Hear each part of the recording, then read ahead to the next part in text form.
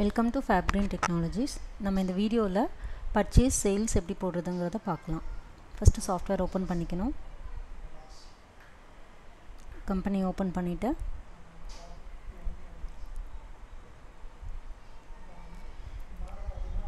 Master ஸ்க்ரீனில் இதில் பார்த்தீங்கன்னா ப்ராடக்ட் கஸ்டமர் சப்ளையர் ப்ராடக்ட்கான டேக்ஸ் என்ன அதுக்கான ப்ரைஸ் மாஸ்டர் இந்த டீட்டெயில்ஸ் எல்லாமே நம்ம என்ட்ரி பண்ணி வச்சுக்கணும்.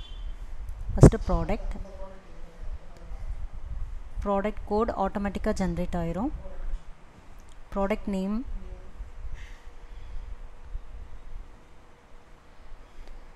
டைப் பண்ணிவிட்டு யூனிட் என்ன யூனிட்னு நம்ம செலக்ட் பண்ணணும். அதுக்கு அங்கே அந்த யூனிட் பக்கத்தில் இருக்க ஸ்பேஸ் பாரில் வச்சு என்டர் ப்ரெஸ் பண்ணிங்கன்னா இந்த ஸ்க்ரீன் ஓப்பன் ஆகும்.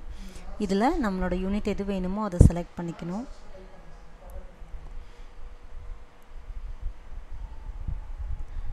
எந்த யூனிட் வேணுமோ அதை செலக்ட் பண்ணிவிட்டு இங்கே இருக்க ஜென்ரேட் கொடுத்துட்டு சேவ் கொடுத்துட்டோன்னா அந்த யூனிட் ஆட் ஆயிருங்க.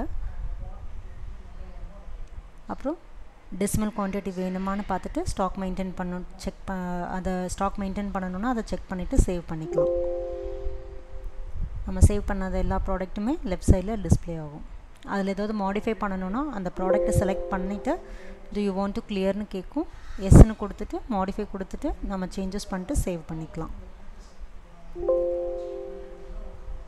இப்போ க்ளோஸ் பண்ணிக்கலாம். ப்ராடக்ட் க்ரியேட் பண்ணிட்டோம்.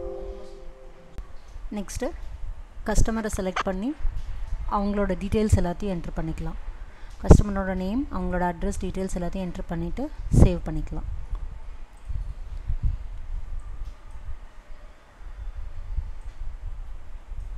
நாம் சேவ் பண்ண கஸ்டமரோட டீட்டெயில்ஸ் லெஃப்ட் சைடில் டிஸ்பிளே ஆகும். இப்போ இதை க்ளோஸ் பண்ணிக்கலாம். நெக்ஸ்ட்டு சப்ளையரோட சப்ளையர் டீட்டெயில்ஸ் அதே மாதிரி தான் அவங்க நேம் அண்ட் அட்ரஸை கொடுத்து சேவ் பண்ணிக்கலாம்.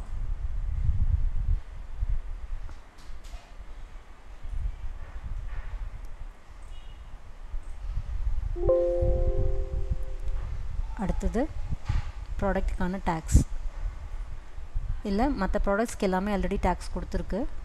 இப்போ நம்ம ஆட் பண்ண ப்ராடக்ட்டை மட்டும் செலக்ட் பண்ணிவிட்டு அதுக்கான டேக்ஸ் பர்சன்டேஜ் என்ன அதை செலக்ட் பண்ணிவிட்டு கீழே அப்டேட்னு கொடுத்தோன்னா அந்த ப்ராடக்ட்கான டேக்ஸ் ஆட் ஆகிரும்